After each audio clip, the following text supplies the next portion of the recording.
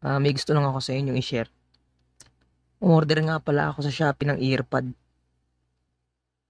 Hindi ko ito makakalimutan. So, not sponsor. Ayun, dumating yung order ko. Tinesting ko ngayon. Nilagay ko sa teka ko yung earpod. Pak! Tapos, ang hina. Pinakasan ko yung volume, ganun pa rin, ang hina pa rin. Sa sobrang buwisit ko, tinanggal ko yung earpod sa tenga ko. Pagtingin ko, ang daming tutuli.